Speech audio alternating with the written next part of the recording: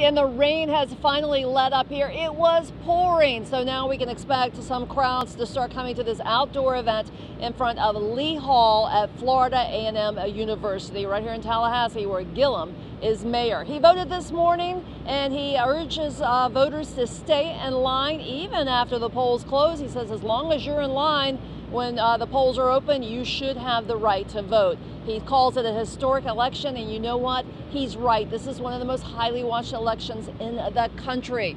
First of all, there's never been an African American in the governor's mansion in Tallahassee. Secondly, there hasn't been a Democrat in decades. So the whole nation is looking to see if he can unseat Ron DeSantis and tonight's very uh, controversial and uh, well watched election night. We'll be here all night bringing you all the results as they start to come in. And if he does win, well, the party will be here.